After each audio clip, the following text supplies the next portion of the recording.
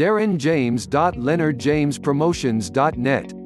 How cruise ship food is made Multiple stories of cruise ship disasters may leave you hesitant to book a cruise, however, it is still a vacation of choice for many people.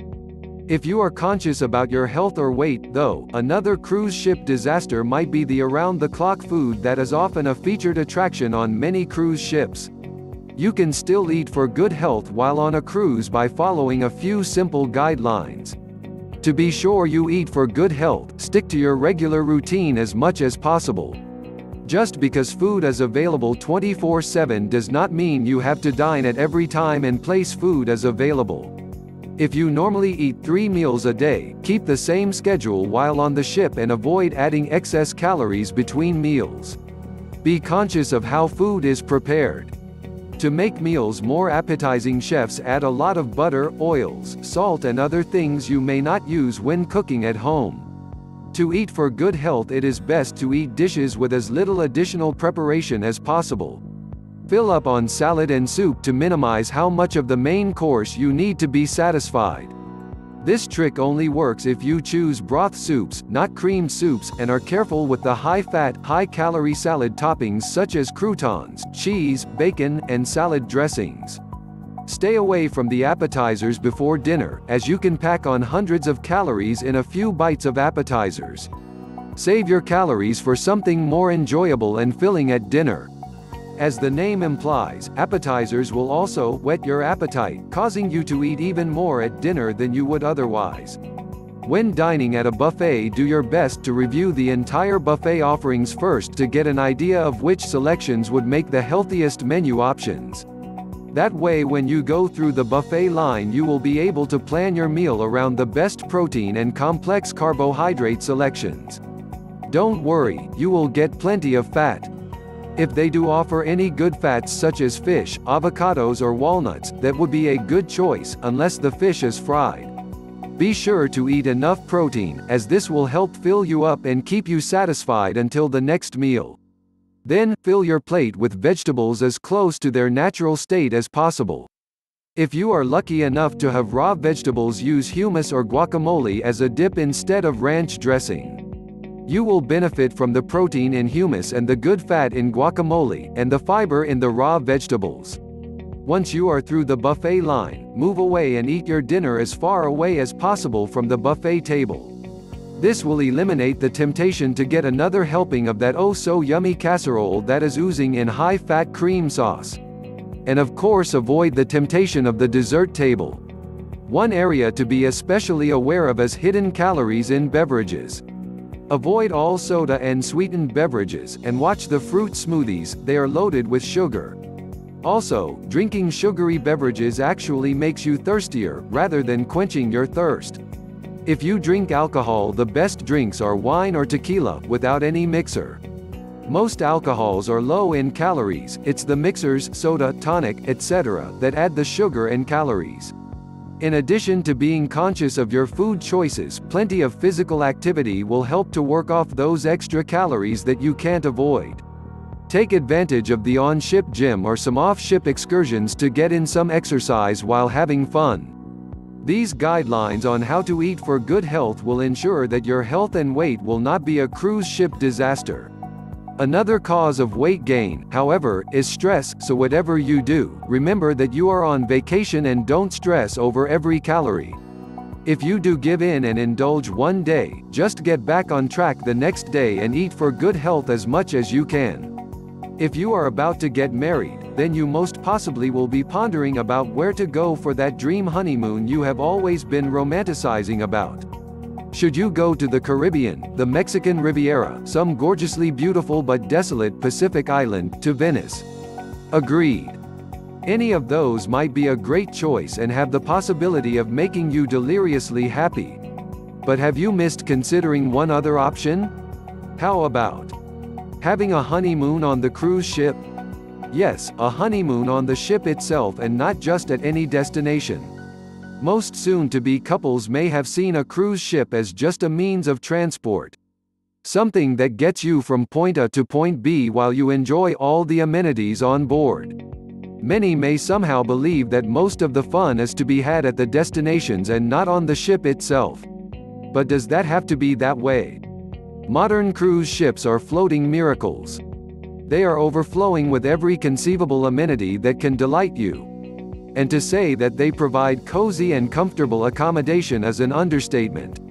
And the food on board may be better than what you can get at many restaurants on shore.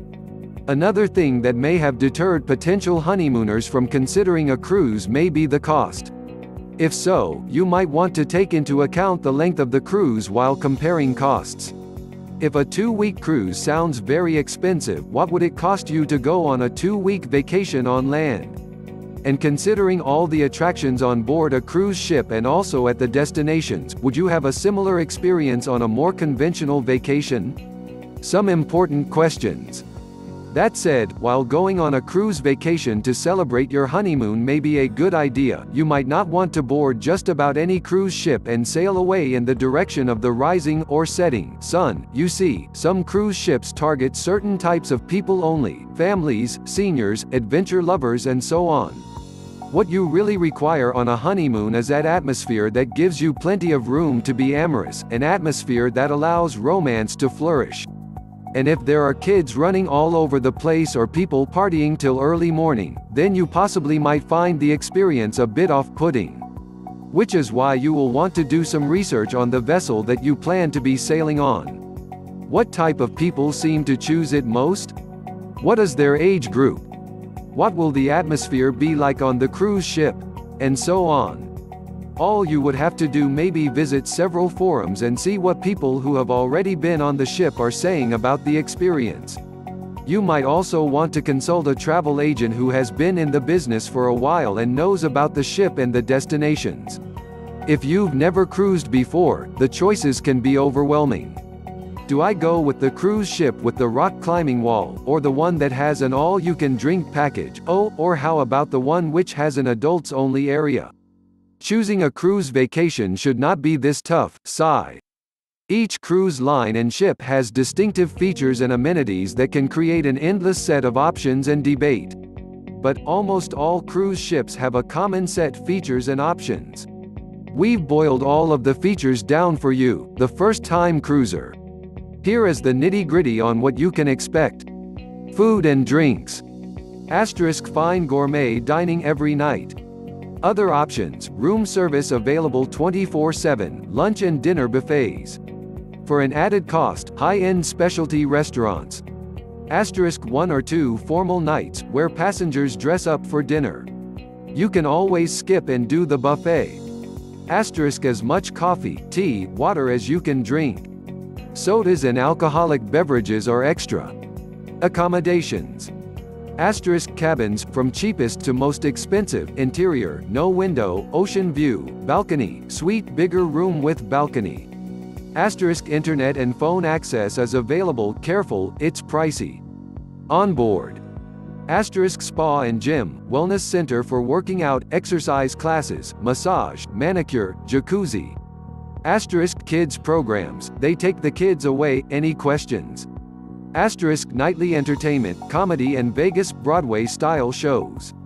Asterisk pools and deck space for laying out and tanning asterisk casino gaming, so you can make back what you spent on drinks the previous night smiley face. Ports of call. Asterisk typically the ship docks in early in the morning, giving you all day at the destination. Asterisk cruise lines arrange various shore excursions, for an additional cost. Don't forget, you have the option to explore on your own. Other tips. Asterisk friendly staff from all over the world. Don't be shy about asking questions. Asterisk save some money for tips, typically give at the end of the trip $10 minus 15 per days is fine. Asterisk read the daily newsletter, there's stuff going on every day. E.g. lectures, cooking classes, gym classes. Asterisk you'll find all ages on cruises, young couples, older couples, families, kids, singles. With 2,000 to 5,000 passengers in each ship, there is a good chance to meet other people like you. You can use our site to meet others going on your cruise.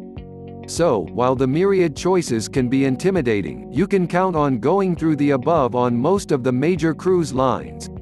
Don't fret the decision too much. Take the plunge, chances are you'll have a blast.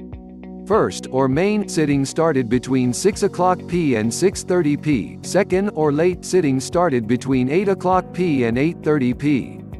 One could linger over dinner for up to two hours or more, before being shooed out so tables could be cleared and reset for the next sitting.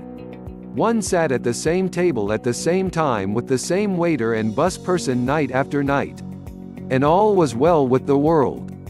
This was the way the cruise gods intended it, every evening a near-religious gastronomic experience. Then along came the heretics at Norwegian Cruise Lines with freestyle dining.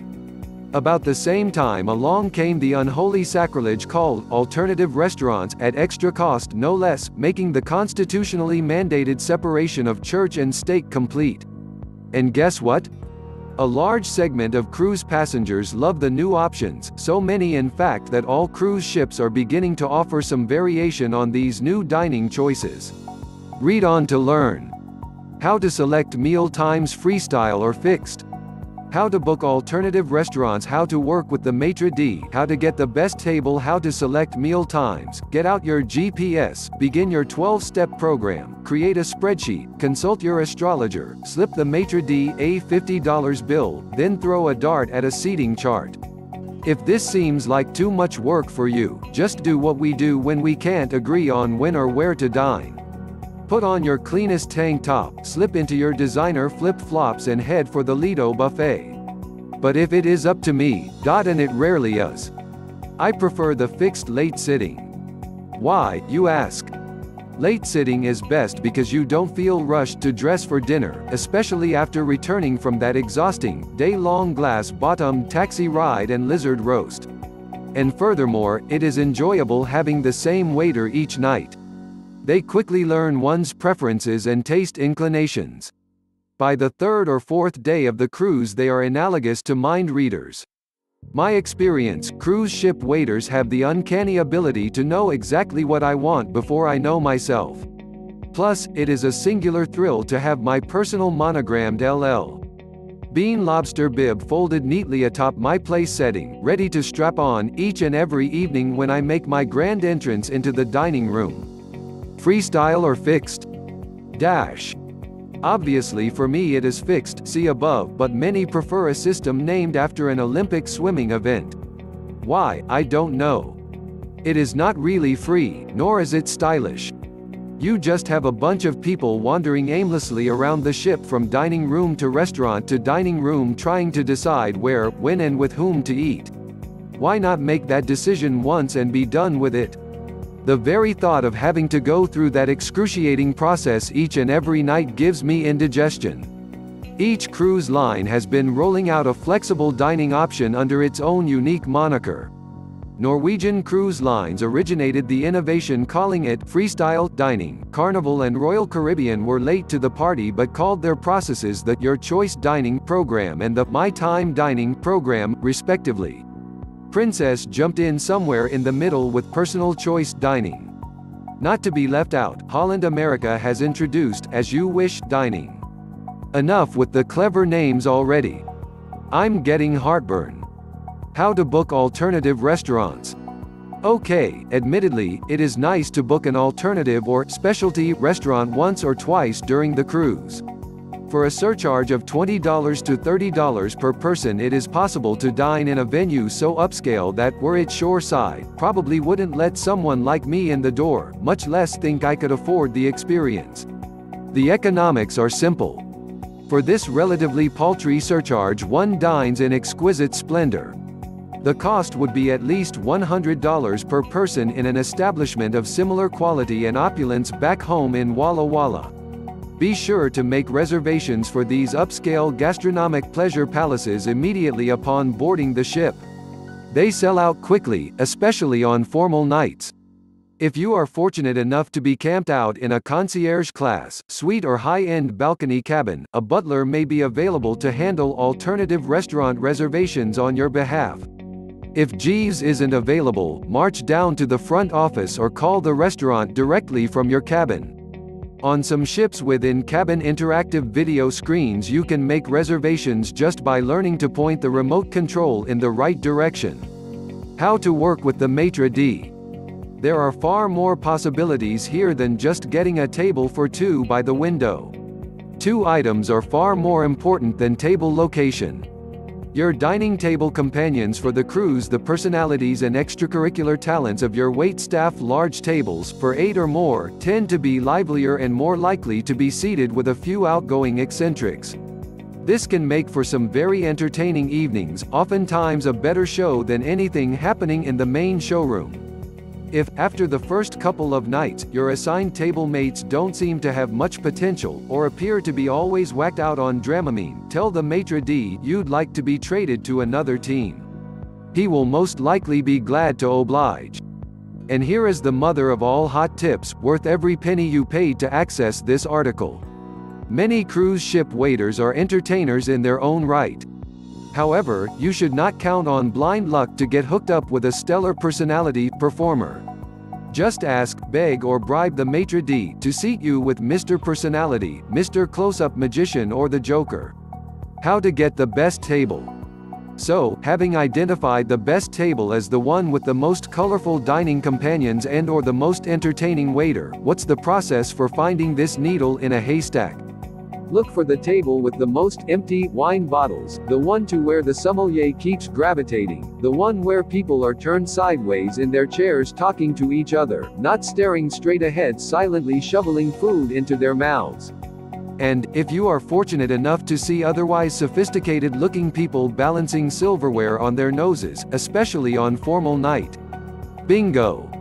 Tip the maitre d' a hundred bucks if necessary to get a seat at that table. For well over a decade we have been told to turn off all cell phones and never turn them on or attempt to make a phone call while in flight. The reasons we have been told for this request often comes back that the signal will interfere with the computers on the plane and cause it to crash immediately, or that there is simply no signal up there, or even that if there was signal all the electronics on the plane would make the connection impossible. However, we now know that several people took it upon themselves to try their cellular phones to say goodbye to their loved ones when they realized they were not going to see them again on September 11. There were dozens of phones making multiple calls all over the country and while the clarity of the calls are uncertain, many on the ground reported that they were able to stay on the phone for a long time and calls were not dropped from lost service. More food for thought on this concept, many airlines have telephones built into the seats. With the swipe of your credit card and about $5 per minute you can use their phones. But how do you get a connection? Will my cell phone work on a cruise ship? A few years back we were all told that our mobile phones would not work while at sea on a cruise ship during our water-based vacation. Research lately shows that this is not always the case. There are now some companies that have global satellite connections that make it possible to connect calls from at sea. Before attempting to connect a call from on board the cruise ship, you may want to contact your service provider to inquire about per-minute rates and ship-to-shore connection fees that may apply to calls made while on board. It is fairly common that most islands have decent reception. However in some cases you could be calling from outside of the country which could encounter more connection fees. Before you try to use your cell phone, stop by your local phone retail center and ask a representative about the specifics for international calling. Although there are all sorts of great parts of Alaska to check out when on a cruise there will generally be two or three days during a cruise where the ship is at sea. Fortunately there are all sorts of cruise activities that are available. These options for Alaskan cruise onboard entertainment range from sports activities to spa areas and even casinos on some boats. There are even shops and shows on these boats. Many boats will have sports activities. One of the most notable things people will see on a boat is that of a pool or other outdoor court area. Many different ships will have pools of all sorts of sizes ranging from an Olympic-size pool to a pool for kids. Basketball and volleyball courts, some of which can be outdoors, are also available on many ships. All sorts of fitness center activities are available too including exercise equipment, fitness classes and even a jogging track. Spa services are available on many Alaskan cruise ships. These are among the most popular cruise activities in that these offer all sorts of different relaxation activities. There are many different features that are available on these ships including acupuncture and massage therapy sessions. These can be popular so it helps to contact the Alaskan cruise liner for details before departure on scheduling an appointment. Some Alaskan cruise ships will have casinos. Many different popular groups offer full casinos on their ships with a variety of activities. These include slot machines, blackjack tables, roulette, craps and different types of poker tables. Many groups will offer lessons on how to play these games and in some cases tournaments are available. Shopping is another of the top Alaskan cruise activities in that many ships offer a variety of shops. These include beauty stores with fine fragrances, liquor stores and drug stores for convenience and even gourmet food stores. Some ships offer stores with jewelry and electronics products. All sorts of classes are offered on Alaskan cruise ships. All sorts of groups offer enrichment courses for a variety of things. These include wine education lectures, lectures on how to handle one's finances, computer skill classes and even golf clinics. For kids there are many activities to check out. These include skateboarding areas, arcade rooms, movie theaters and many other popular places. Child care services are available for parents too.